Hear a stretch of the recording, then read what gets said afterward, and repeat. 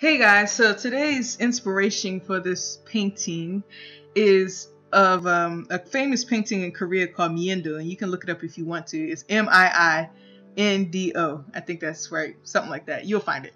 And I was inspired to do this because I have a Korean friend named Eunae, and she loves wearing hanbok. So I used a lot of different um, hanboks that she wore and put it together in this piece, and that's what I got. Anyway, besides that, um, I'll talk more about that some other time. But besides that, I want to talk about something specifically. And what I wanted to talk about today was a, a ex friend of mine and why she was an ex friend. I told you a while back in the Natural 85 video that I had issues with a roommate, but I didn't explain exactly why I had these issues. But now I'm going to explain why. So this roommate that I have, she's now who was my friend at the time, me and another ex friend of mine decided that we were going to move in together because we needed to move. She wanted to move out of, um, they wanted to move out of campus housing, and I wanted to move away from home because commuting was horrible. So we decided on a place called Campus Crossing at Durham. So it was like an apartment. So if one of us were late on rent or anything, that was the only person who had to suffer, not everybody else.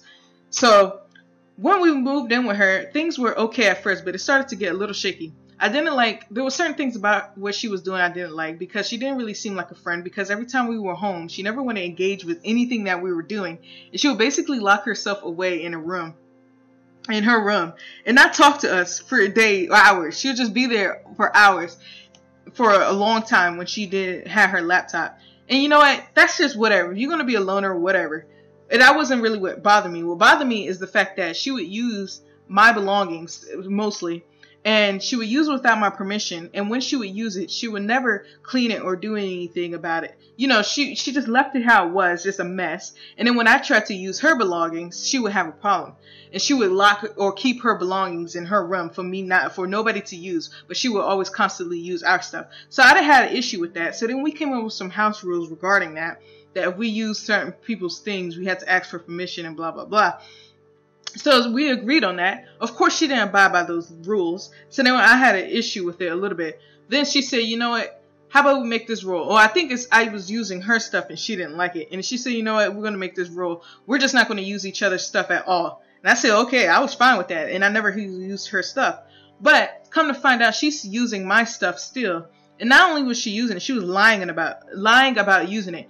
So one time, I think we got some kind of stupid fight about her missing some shuttle and every whatever, and I had to pick her up, and I was annoyed by that.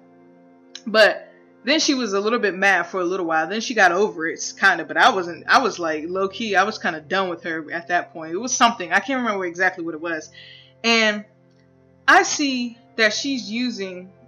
She starts using my things again. And one day I come out of my room and I'm sitting in the living space on the couch and I see a spatula of mine on the floor, dirty.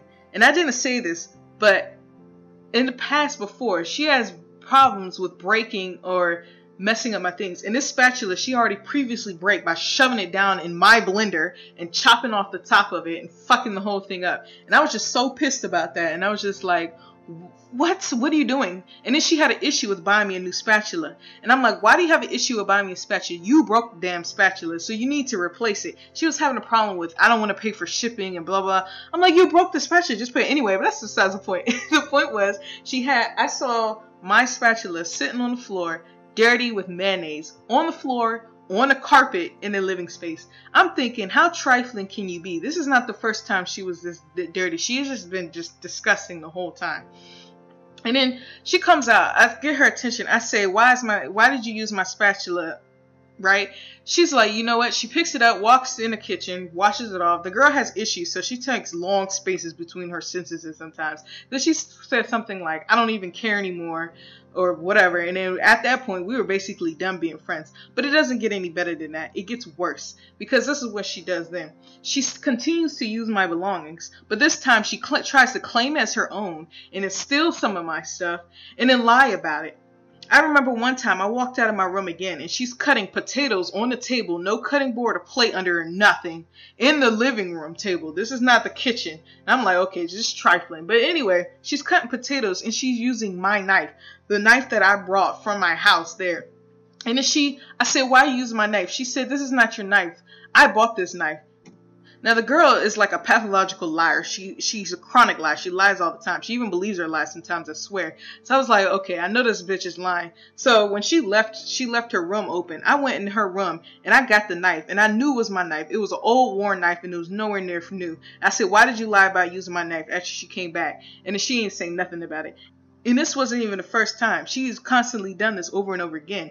And then she had issues with throwing away her trash or taking out her trash. She would have banana peels in her room, and we had a fruit fly infestation. This whole time I'm thinking it's me because I eat a lot of fruit. It wasn't even me, it was her. But anyway, we've come to the end of the story. I might continue it later, but that's all for now. Peace.